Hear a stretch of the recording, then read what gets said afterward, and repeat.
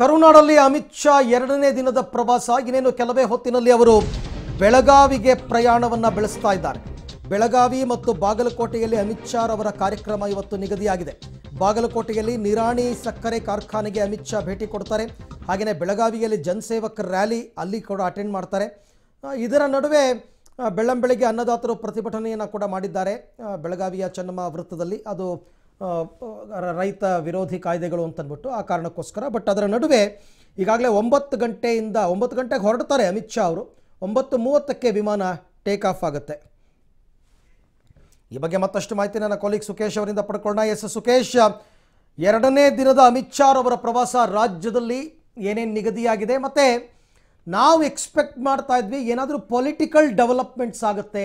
ಅಮಿತ್ ಶಾ ಅವರು ಏನಾದರೂ ಪೊಲಿಟಿಕಲಿ ಈಗ ಎದ್ದಿರ್ತಕ್ಕಂಥ ವಿವಾದಗಳ ಬಗ್ಗೆ ಮಾತನಾಡ್ತಾರೆ ಅಂತ ಬಟ್ ಆ ರೀತಿ ಯಾವುದೂ ಆದಂತೆ ಕಂಡು ಬರ್ತಿಲ್ಲ ಅಲ್ವಾ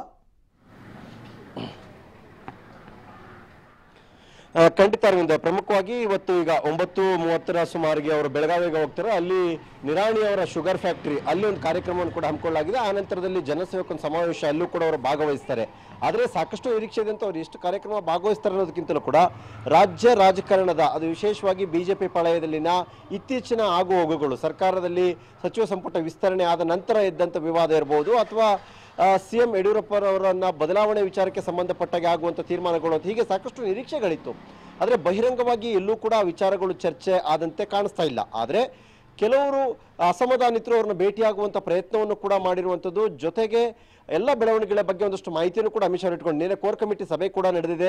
ಕೋರ್ ಕಮಿಟಿ ಸಭೆಯಲ್ಲೂ ಕೂಡ ಸಾಕಷ್ಟು ಪ್ರಮುಖವಾದ ವಿಚಾರಗಳು ಕೂಡ ಚರ್ಚೆ ನಡೆದಿದೆ. ಆದರೆ ಎಲ್ಲರ ನಿರೀಕ್ಷೆ ಇರುವಂಥದ್ದು ಸಿಎಂ ಬದಲಾವಣೆ ವಿಚಾರ ಏನಾದರೂ ಕೂಡ ಪ್ರಸ್ತಾಪ ಇರುತ್ತಾ ಅನ್ನೋದು ಒಂದು ಕಡೆ. ಆದರೆ ಸಂಪುಟ ವಿಸ್ತರಣೆಯ ಗೊಂದಲ ಅಥವಾ ಕೆಲವರಿಗೆ ಬೇರೆ ಬೇರೆ ಕಾರಣಗಳಿಗಾಗಿ ಅವಕಾಶ ಮಾಡಿಕೊಡ್ತು ಅನ್ನುವಂಥ ವಿಚಾರದಲ್ಲಿ ಆಗಿರುವಂಥ ಗೊಂದಲ, ಇದರ ಬಗ್ಗೆ ಏನು ದೂರು ಪ್ರತಿದೂರುಗಳು ದಾಖಲಾಗಬಹುದು ಅನ್ನುವಂತಹ ನಿರೀಕ್ಷೆ ಹೆಚ್ಚಿನ ಪ್ರಮಾಣದಲ್ಲಿ ಇದ್ದಂಥದ್ದು ಅರವಿಂದ್.